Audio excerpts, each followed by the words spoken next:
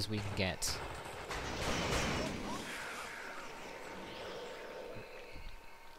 Those lockers are as useful as they were in Metro 2033. Yeah, come on now, Carter. Come on, get out of here, don't you? They're behind that door. Oop. Yep, your allies definitely know how to aim, so they can take care of themselves most of the time.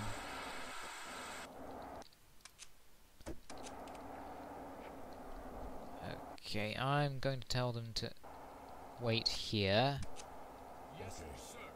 Because if they follow you this way, they tend to get stuck right about here, and I have no idea why. Ooh, thing. Yep, that's good. Some machine gun, ammunition, and a medkit.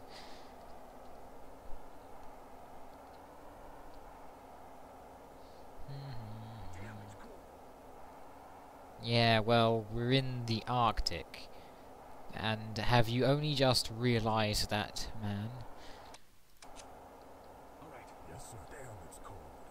Oh, come on, stop complaining. Blake's not complaining. Nah, let's just get to Pierce. He's our main objective at the moment. Yes, I know how to kill things. I've been doing that since... since forever.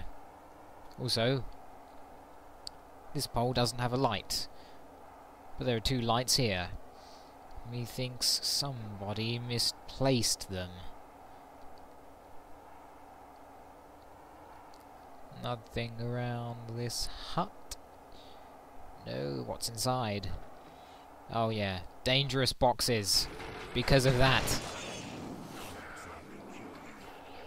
Also, never know when you might need three fire extinguishers.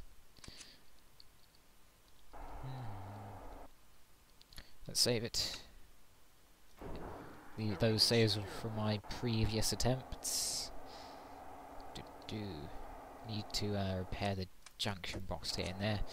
Since I never used a grenade, ever, use on there.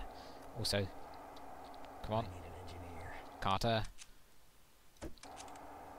Come on.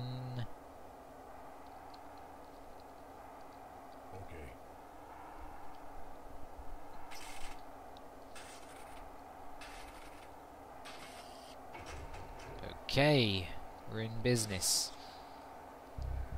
Blood. Hope this isn't Pierce's blood. Also, boots.